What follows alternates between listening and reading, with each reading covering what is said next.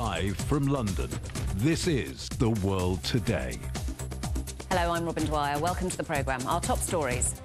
Crisis diplomacy. The US Secretary of State begins his latest tour of the Middle East, hoping to prevent the conflict spreading. Israeli attacks continue across the Gaza Strip. Palestinian officials say that more refugee camps have been hit. Culture bringing two countries closer together. Events are underway marking 60 years of ties between China and France.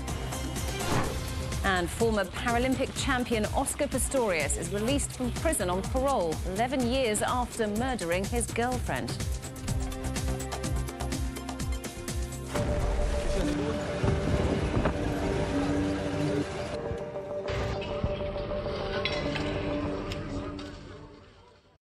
US Secretary of State Antony Blinken is expected to arrive in Tel Aviv in the coming hours. His week-long tour of the Middle East will be his fourth since the latest conflict began in October.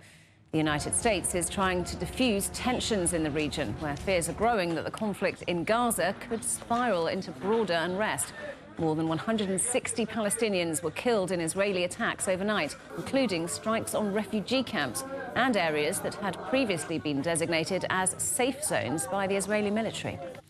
Well, let's talk to our correspondent, Trent Murray, who's in Tel Aviv. Uh, so, Trent, what are we expecting from Antony Blinken's visit today?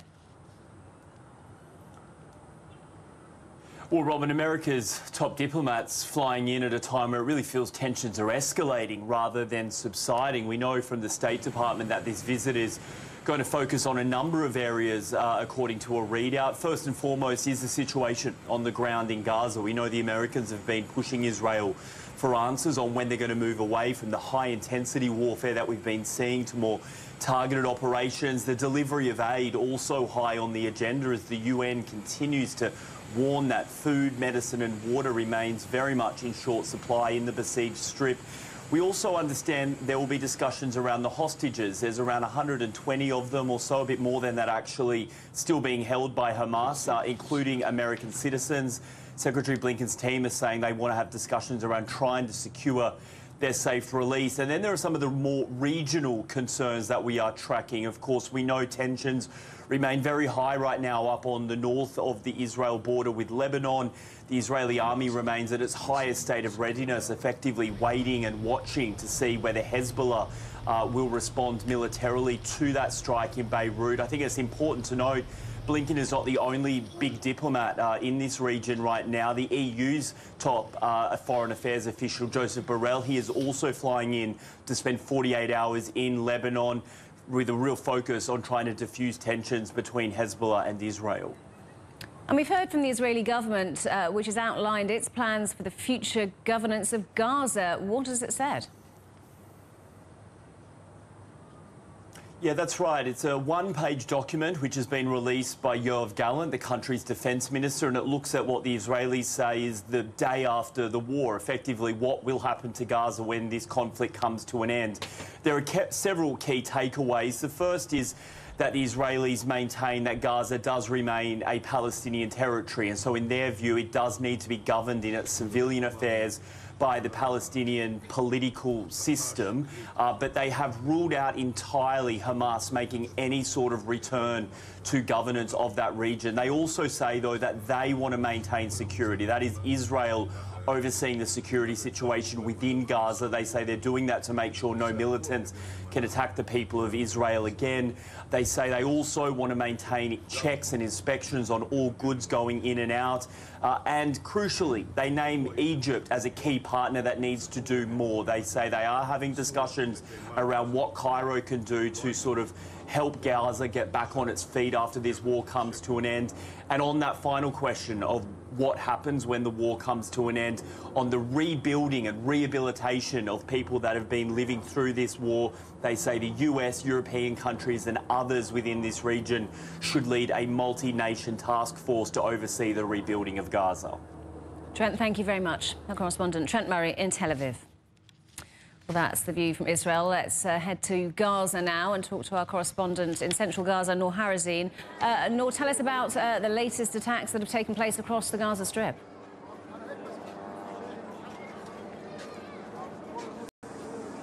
Well, the Israeli troops have withdrawn from large areas from northern Gaza, so we can say that it is now in northern Gaza. However, the Israeli army intensified its attacks on middle Gaza and southern Gaza. Since the early hours of this morning, and most of the Israeli strike hit uh, places and homes in uh, Khan Yunis city, Rafah city, here in middle Gaza and Deir el-Balah, and the refugee camps surrounding Deir el-Balah, like the Al-Maghazi refugee camp. According to the Palestinian Health Ministry, and in a joint statement with the uh, Palestinian media office, they said that 162 Palestinians were killed in Gaza over the past 24 hours, and this brings up the death toll here in Gaza up to 22,000 600 Palestinians, 70% of them are women and uh, children. Uh, talking about the Al Maghazi refugee camp, uh, actually, uh, this area was marked as a safe area. No evacuation order was released. So, uh, people who are residing inside the Al Maghazi refugee camp, they just woke up on the sounds of heavy Israeli uh, shelling and heavy Israeli airstrikes shortly after the Israeli tanks started its land incursion in the Al Maghazi refugee camp, forcing hundreds of families to evacuate. However, uh, until now and while we were speaking, there is people from inside the camp that, that they are stuck inside the camp and they are calling upon the Red Cross, the international community, the UN to uh, somehow find a way to evacuate them. And Noor, the uh, humanitarian situation in Gaza uh, is still very difficult, uh, with aid groups appealing for more supplies.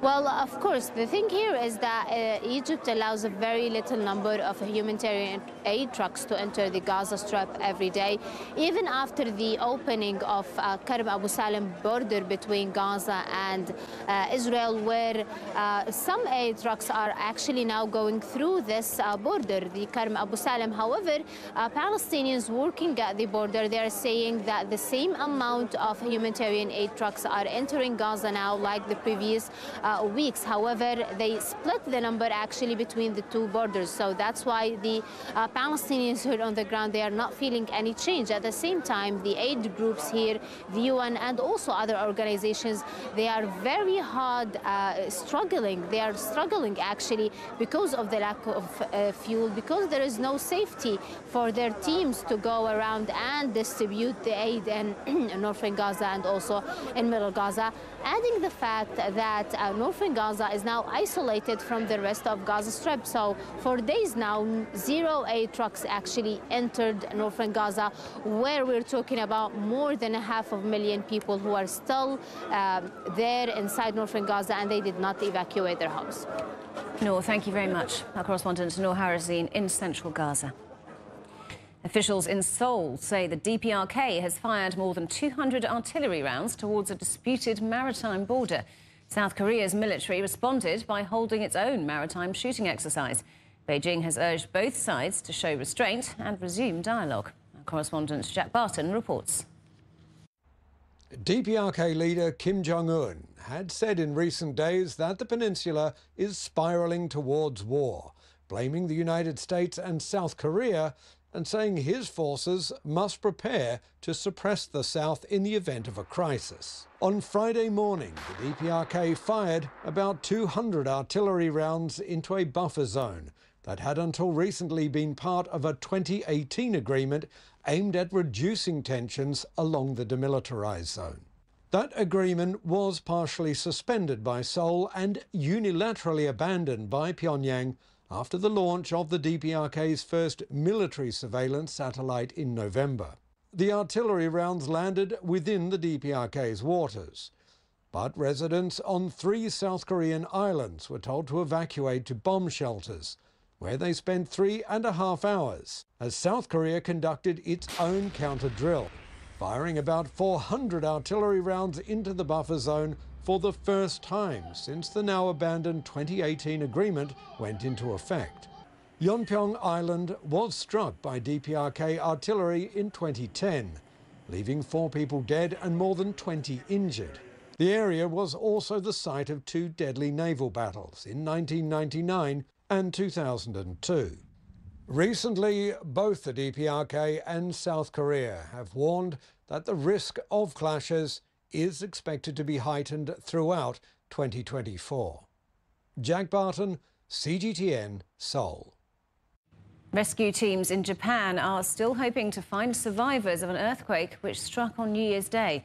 They're also trying to deliver aid to tens of thousands of people who fled their homes. Our correspondent Chris Gilbert reports from Tokyo.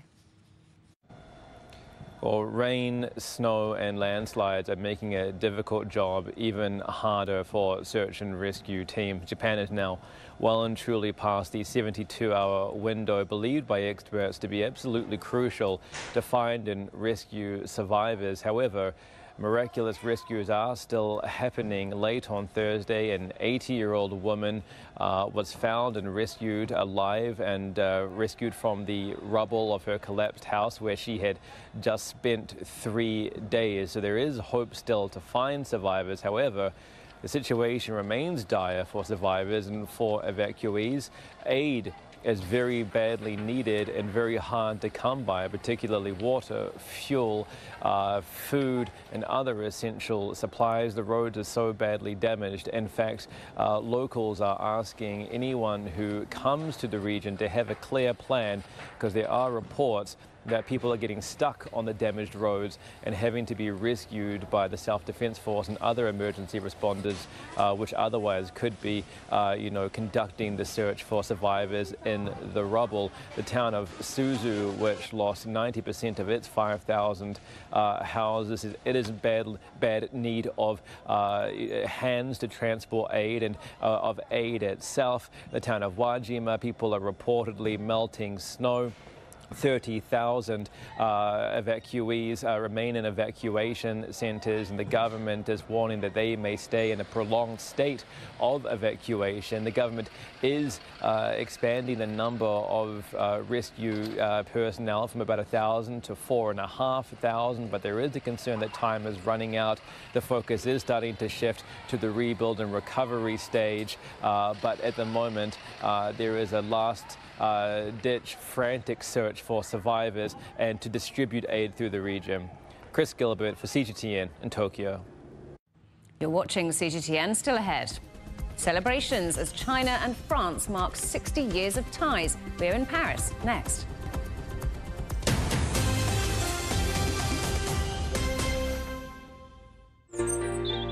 Ever wondered what's the difference between a bear and a bull market? Where are the cash cows? And who are the lame ducks? And what exactly are black swans? Grey rhinos? And unicorn companies? Make sense of it all with global business, only on CGTN. I think it should be more global cooperation. I would like to hear more the voice of the developing countries.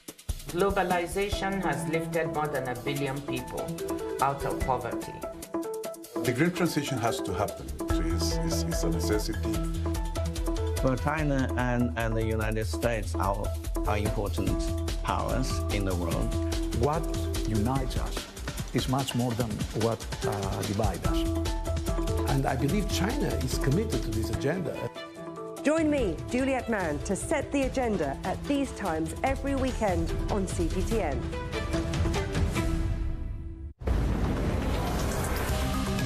This week on Razor, travelling back in time using the DNA of our ancient ancestors. When the pendant arrived, it was still covered in sediment as it was found. We first want to wash off the sediment and also analyze the sediment because we want to compare then the DNA that we find in the sediment to the DNA we find in the pendant. And that allows us to make some comparisons that the DNA that we find is really from the maker or the wearer of the pendant.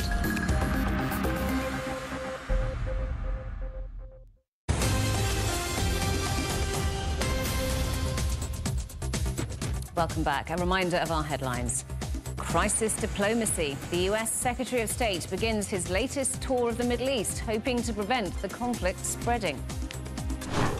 And Israeli attacks continue across the Gaza Strip. Palestinian officials say that more refugee camps have been hit. China's foreign minister says it's vital that China and the United States work together. Wang Yi delivered a speech at an event marking 45 years since the two countries established diplomatic ties. He said cooperation is no longer a dispensable choice. Let's talk to our correspondent Dong Shui in Beijing. Uh, so, at this event celebrating the ties between China and the United States. What did Wang Yi have to say about that relationship? Sure. Well, just a couple of hours ago, you know, the reception was held here uh, in the State Guest House in Beijing to celebrate the 45th anniversary since ties were established between China and the United States, where Chinese Foreign Minister Wang Yi reiterated that cooperation is the right path for the two countries moving forward. He said both countries should follow the consensus reached by the two heads of state in San Francisco last November and better manage differences while broadening cooperation. And he also mentioned that starting from the first day of January, Wang Yi said that Beijing is working on a new visa process for U.S. citizens while opening the doors to 50,000 American students to come to China in the next five years. And also he mentioned that cute pandas are getting ready to return to California as well. Wang then said that Beijing has no intention of seeking hegemony and is willing to build a stable, healthy, and sustainable relations relations with the United States. He said that this would serve the interests of both nations. And also, you know, the numbers speak for themselves while when judging the importance of the China-U.S. relationships. You know, bilateral trade has now reached 760 billion U.S. dollars with 260 billion worth of investments. And Wang also reiterated that peace must at the foundation, must be at the foundation of the relationship and would benefit all humankind. He said that both bear uh, important responsibilities for upholding world peace and global security. And over the past few decades, whether you know from fighting terrorism or Ebola, he said the world has seen the power of China-U.S. cooperation. Robin. And we know there have been tensions between the two countries in recent years. Uh, are there signs that this rela these relations are improving? Well, I would say the uh, Xi-Biden summit in San Francisco last November was definitely a positive sign, you know, but as Wang Yi has put it, it's more important for both sides to actually implement all these agreements reached by the two heads of states. You know, it's still too early to tell whether this will happen, but I'd say, you know, China has is never going to impose its version of truth onto the U.S. as China will never impose its philosophy, its political system, or its ideology on any other country in the world, just like President Xi Jinping insisted that the world is big enough for both to grow and develop in their own way while still complementing and supporting each other. So uh, I remember in San Francisco, the two leaders welcomed the, welcomed the resumption of bilateral cooperation to combat the global drug trafficking trade, including synthetic drugs like fentanyl. They also welcomed the uh, return of high-level military to military communication and affirmed the need to address risks involving artificial intelligence through bilateral discussions. So I think the next step is to see how these meetings in San Francisco develops in a practical, concrete manner moving forward. Robin? Shui, thank you very much. My correspondent Dong Shui in Beijing. Meanwhile, events are underway to mark 60 years of diplomatic ties between China and France. The two countries have declared 2024 a year of culture and tourism. Well, let's talk to our correspondent, uh, Ross Cullen, who's in Paris. Uh, so, Ross, how's this anniversary being marked in France? Well, Robin, the uh, the French Foreign Minister Catherine Colonna released a note earlier uh, today, officially marking the start of the 2024 year of Franco-Chinese tourism. She looked back on her discussions and conversations with Wang Yi, her Chinese uh, counterpart during 2023, and looked forward to 2024 uh, being the official year of French-Chinese tourism. And to that end, the French tourism minister herself, Olivia Gregoire, has been on a two-day visit to uh, China. There's going to be lots of cultural exchanges, person-to-person -person exchanges, artistic and creative events, all, of course, anchored around the Olympics in the summer. So an official year of tourism between the two countries then, uh, and the Olympics hopefully playing a part in attracting uh, more Chinese visitors to France. Yeah, Team China always does pretty well at the Olympics. They'll be hoping for another good showing as well uh, during the Paris 2024 Games. And of course, uh, France tourism authorities will be hoping that provides a spark for many international visitors coming here to the French capital in the summer.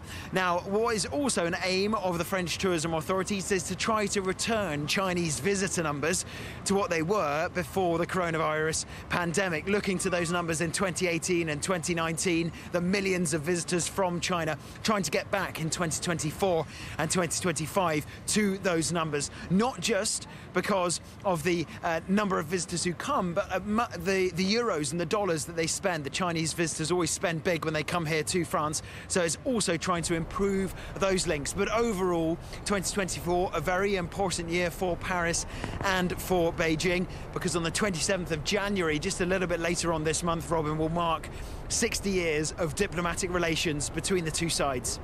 Ross, thank you very much. Our correspondent Ross Cullen there in Paris.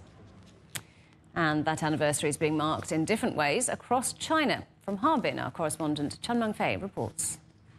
Of course, this year also marks the beginning of the special China-France Year of Culture and Tourism.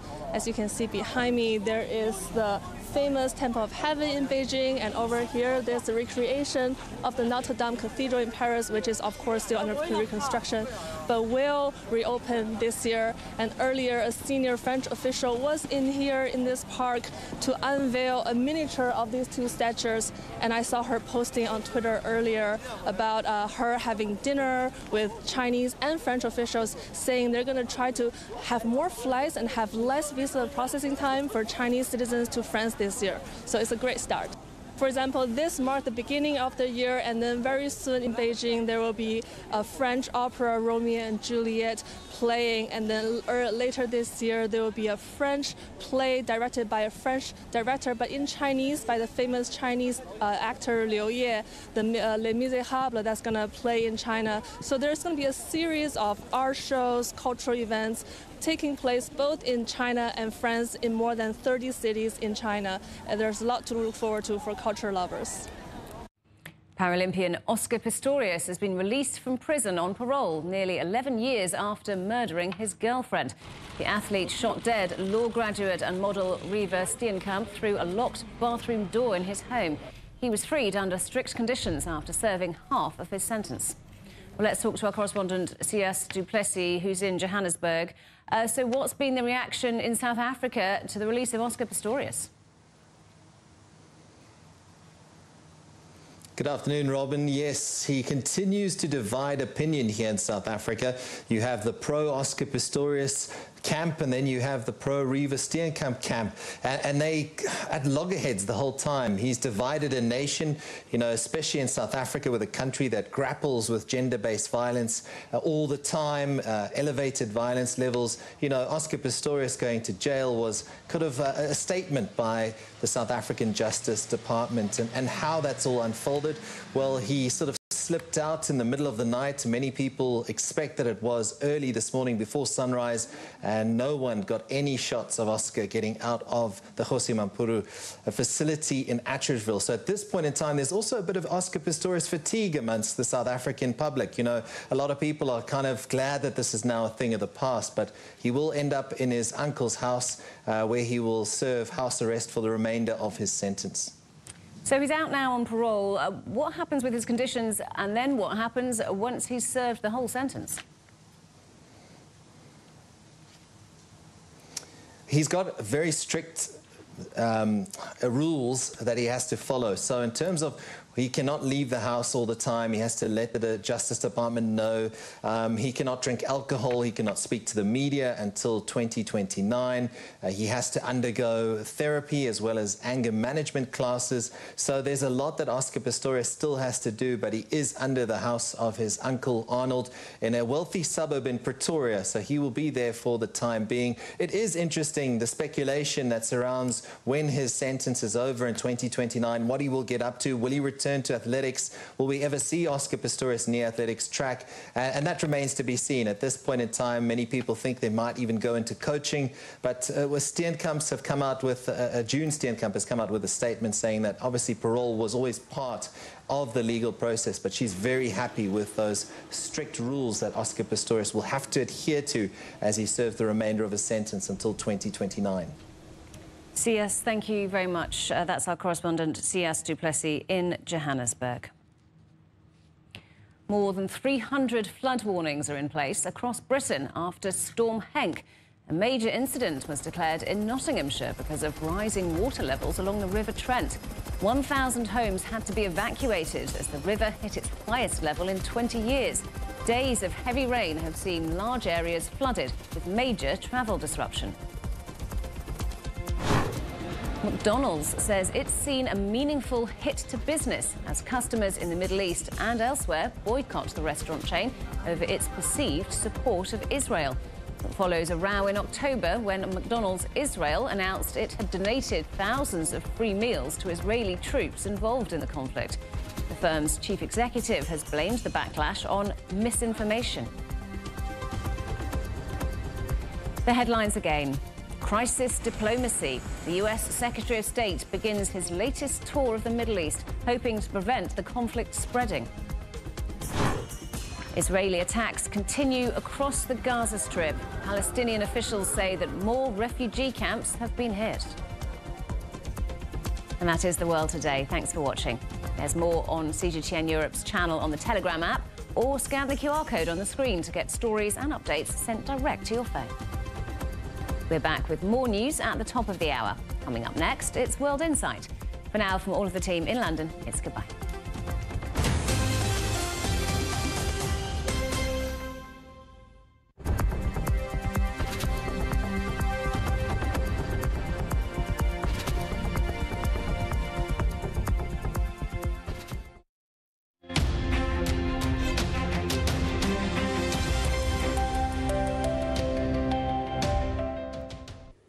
Welcome to Europe's weather forecast. Well, the cold air will continue to impact much of the continent as we get into this weekend, very likely to cause a temperature drop in many places and a large portion of wet weather.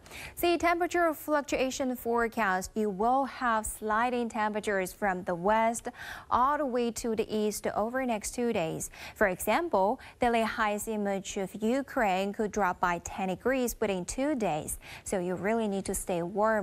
Now, speaking of wet weather, there could be rain chances stretching from Iberian Peninsula all the way to much of Italian Peninsula by Saturday. The sleet and snowfall could be expected in places like Poland, Germany, all the way to southwestern Russia. Then getting to Sunday, you may really need to cope with some messy wet weather across much of Central Europe and along the west coast of the Balkans, see a chance of localized torrential. For folks up to northern Europe, by Sunday, you could see lowering chances out there. Minus 5 for day highs in Copenhagen, minus 8 for daily highs in Stockholm and Helsinki. According to weather forecast, daily highs out there are ready to bounce back to positive readings as we go into the new week. Well, that's it for now. Stay tuned for more city forecast.